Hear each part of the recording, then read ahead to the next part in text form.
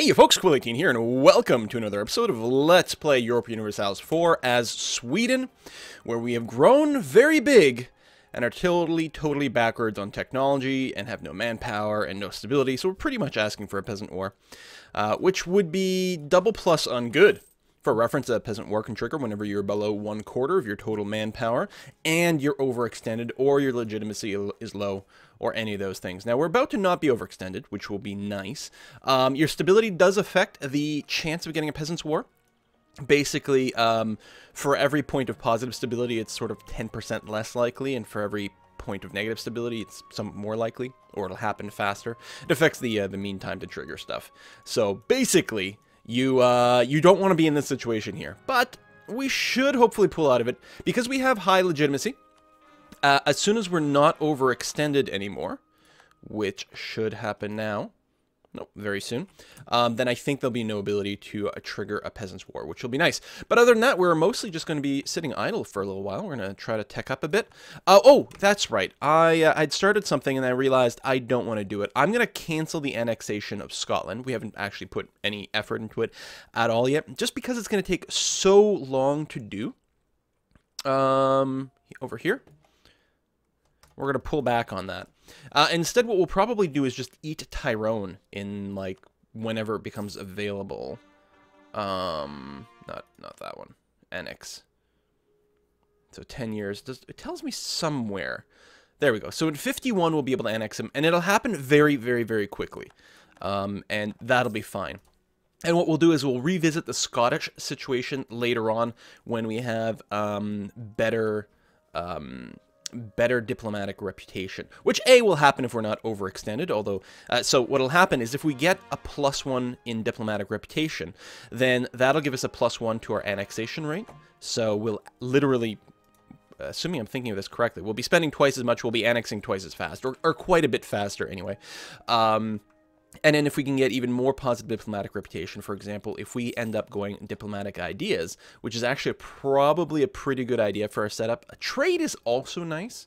Um, and definitely a possibility. Trade would be pretty sexy, but if we get diplomatic ideas, it'll go a long way towards helping us annex people. And I think that um, vassalizing people is going to be a pretty common thing for us over here. We'll see how it goes. We'll see how it goes. Anyway, we are no longer overextended at all, which is beautiful. Our manpower is almost at 25% of our max, which is another way to prevent the Peasants' War. Overall, we're sitting pretty tight, uh, mostly just looking to tech up. What do we have focus? We have no focus set right now, and I think that's good. We do have an extra military leader who I will... He's not bad, but I'll go ahead and bop him off just to be able to save the extra point over there. Meanwhile, let's check our income. What's our maintenance rate set to? Low, not literally zero, because I don't like to do that, because it then doesn't reinforce it all. Although I could probably afford to drop it a bit more. We're going to check on that. How's our fleet? We could technically build four more ships, and I think I will do that. And I'm going to build light ships because light ships are awesome because of trade. They can also fight a fairly decent way. Uh, we might end up going maritime ideas at some point just to have our light ships be able to fight better. We'll see how it goes. So what I'm considering, since we're so far behind on military attack, well, we're not so far behind, but we are.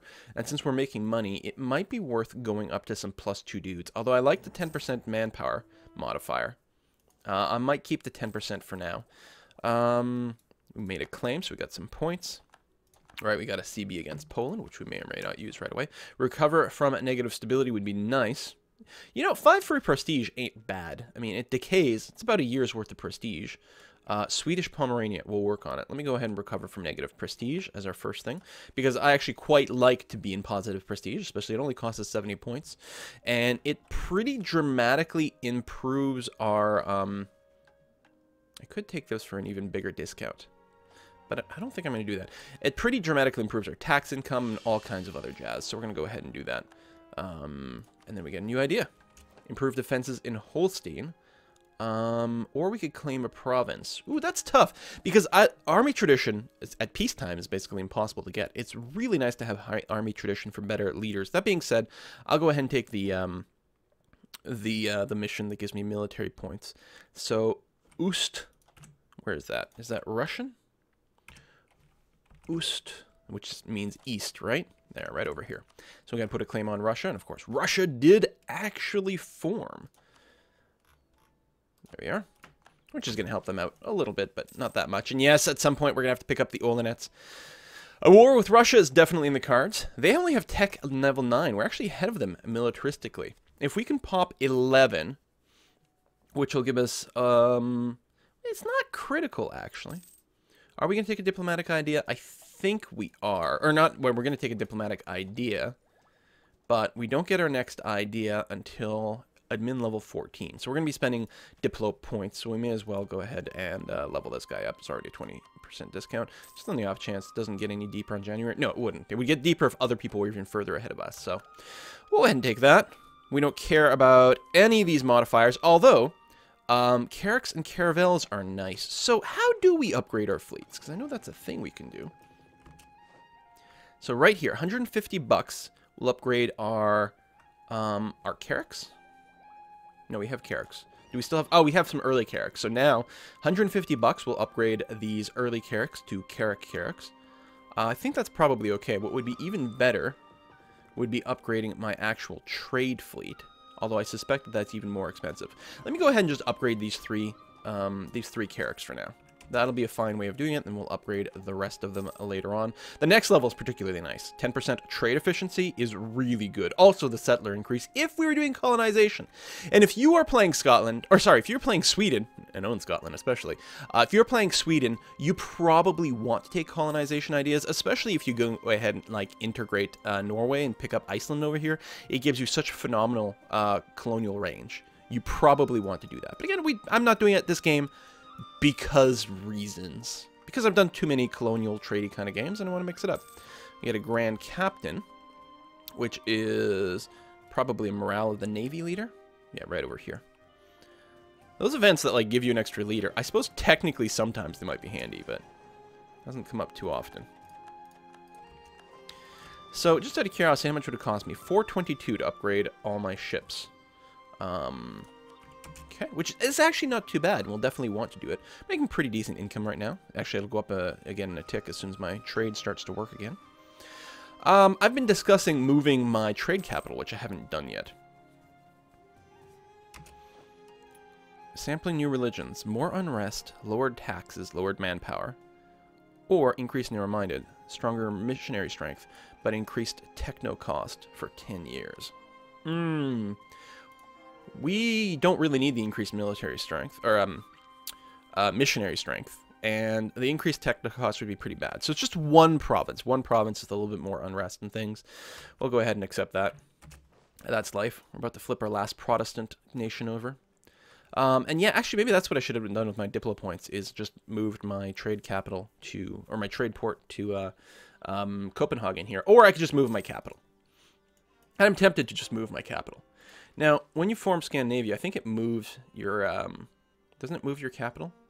Someone told me it might move your capital, like, and that would be kind of annoying if I moved my capital and then eventually do form Scandinavia and it moves my capital somewhere else. So maybe we'll just move the, the trade port.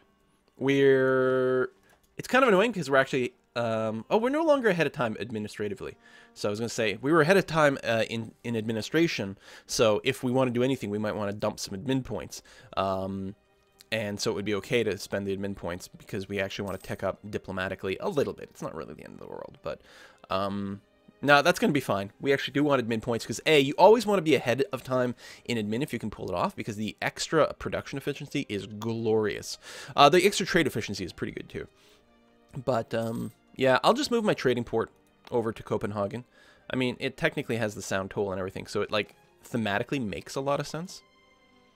Ah, Stupid stability events. And yeah, I really like to have at least neutral stability. But I like to go up to plus one, because the plus one is still really cheap. You can see it's 70 power right now for us to go to plus one, which is pretty good. After that, it gets more expensive. Parliament of Västerås? Uh, I don't know. Uh, something Swedish Liberation War, crown enormous debt to the Hanseatic League. I don't think I've got any debt whatsoever, actually. Oh, we have a loan apparently, which I could pay off right away. Um, Parliament took first steps towards Protestantism. Well, we're pretty Catholic. Holy crap! Holy crap! What an event! Okay, so we could flip our country's religion to Protestant, which would cost us three stability. It would give us a bunch of money, not to mention unrest, but we get money and our tax modifiers would be up for, it's only five years.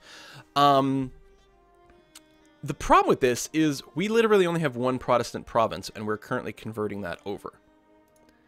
So yeah, historically, Sweden did become Protestant. This time, I'm pretty sure we're going to become, we're going to stick with Catholic. Uh, especially because a lot of German nations are going to go Protestant, and uh, France is Catholic, and so we might buddy-buddy up there and that sort of thing. But in particular, I love the plus three stability. I mean, I think this is the only thing that makes sense. Um, I'll have to play a game of Sweden at some point where I like specifically target becoming Protestant, you know, much more proper. I guess if I had switched my religion to Protestant earlier on, when there were still centers of Reformation. I could have I could have flipped Protestant from this event, gotten a center of Reformation for Protestant, which would have auto converted a lot of uh, uh, provinces, which might have been fun. But here we're going to remain true to Catholic. We're going to gain all the way up to plus three stability, which is damn sexy. The Pope's going to like us a little bit more, which is handy. We made a claim over there. We'll recall our diplomat with France. We could pick a new idea. Um, yeah, I'm going to finish my uh, my offensive ideas at this point. The 5% discipline is pretty nice. We're going to unlock Forced March, and it will, again, give me a slight discount on my military tech, so we can keep working on it. I'm behind the times here, but I'm keeping pace with our neighbor. Russia is still one level behind me, so that's nice. Um, Swedish Pomerania, yeah, eventually. We definitely want to take control over the entire Baltic. That will definitely be a plan. But for now, I think improving defenses in Holstein is nice. Holstein's kind of on the front, so actually having a higher um, fort level here is not a bad thing. And we're basically uh, spending a little bit of money and a tiny bit of military power to get some extra um, army tradition, which is good, actually. So right now we're making almost 20 per turn. Got that. Trade situation. I have about 50% of the trade in the Baltic Sea. Um, I'm not really going to build much in the way of uh, trade buildings in these provinces because I should at some point control 100% of the land. And then other than, you know, enemy ships buzzing around in here, that'll give us 100% of the trade power. Um, but it's going to be a long, long time before we have full control over the the Lubeck trade node, although I might be wrong, I didn't realize this is a Saxony trade node over here. The Lubeck trade node only requires that we grab a handful of provinces here that we don't have access to. That's interesting. So again, I may not build any trade buildings over here. Um, we'll see how it goes. Do I have a dock set up in uh, Skåne over here? No, and I think I should, because this seems like the natural place for me to dock my ships. So I'm going to go ahead and grab that just for the increased ship repair time, because I think it's going to be handy. And ultimately, we'll probably want to go down the naval branch quite a bit, just so that we can uh, get the shipyards with the plus one force limit, and there's another one. Yeah, the naval arsenal gives you even more a uh, force limit and even more from the naval base. So in all in all, we can build enough buildings to get an extra five force limit. Uh, Hansa, Hansa, no claim, Oh, I missed my window. Oh, hang on. Lock? Is it locked? No, now it's locked. What's the coalition map mode look like? Hmm, I missed my window of declaring war on England without them having joined a coalition. Just out of curiosity, if I were to declare war right now, Cologne would be forced to jump in because they're in a coalition that automatically co-belligerizes them. That's interesting. I think if, yeah, huh, that is interesting. France, Lithuania, so Russia and Bohemia would jump in. That's a really, really good question. First of all, what additional allies does England have? Poland, or does Russia have? Because I'm just looking if we were to declare war. So I don't think I would want to co-belligerize Russia. Um, Although fighting, we've got a truce. Now they could they could ignore the truce if they get called in defensively. Lithuania really likes me. France likes me enough to jump in, which will be good. And the fact that Cologne is in will give France the ability to walk through um, the HRE territory, and us as well. Cologne and Bohemia. Bohemia will probably jump in. I'm going to assume that we don't want to co-belligerize Bohemia. No. Plus, I think if we did that, it would technically give um, Austria the ability to jump in to defend um, the HRE. Well, if we were to declare war on England, we'd have to have some troops over there first. So maybe we'll get to work on that. Um, interesting that this fleet is not mothballed. Let's go ahead to uh, Finland over here and pick up some troops. But yeah, it would have been nice to get them maybe before the coalition. It might not matter. The only difference between declaring war now and before they entered the coalition is whether Cologne jumps in.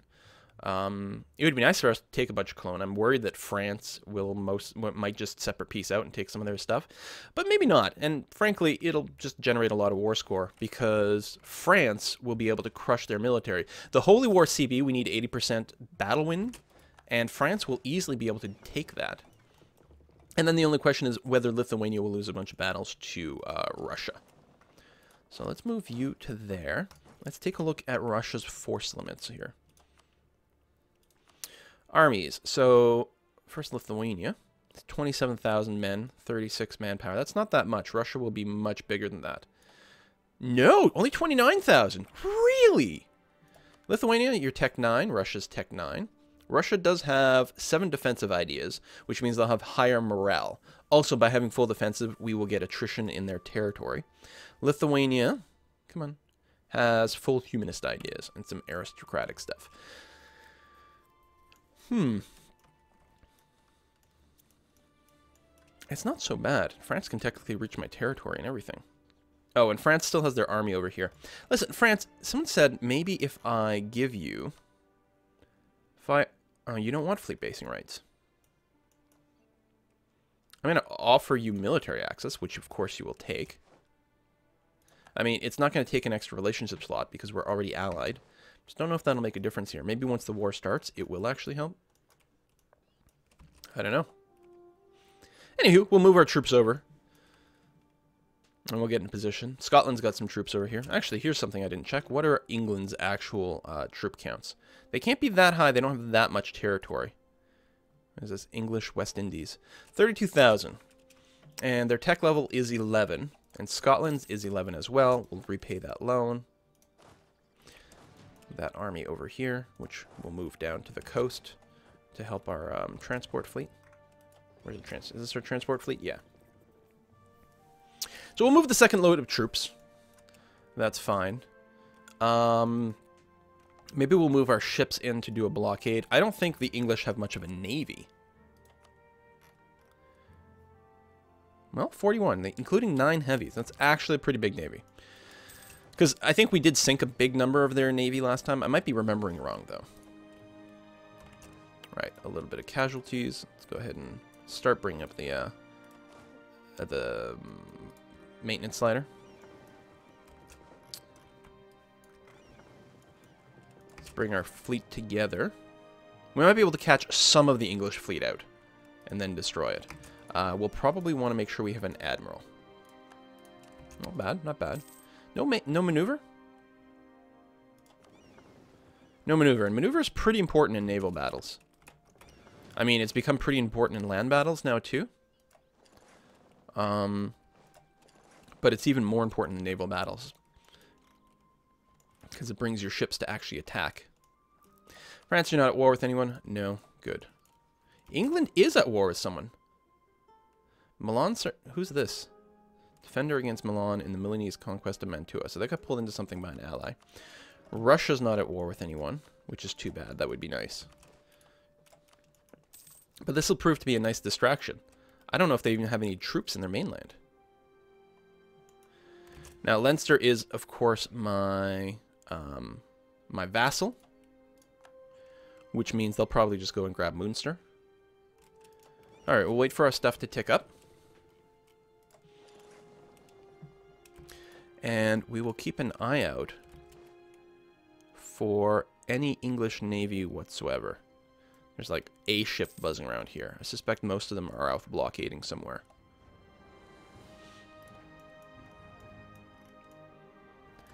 So we're not going to be able to defend ourselves from Russia right away. Uh, but we'll get a full siege on England, who's going to be the, the specific war target leader guy. Um, let's go to full maintenance. So that's still... Oh! No, that's just one. Some French troops there. I just saw the bigger number and I got excited.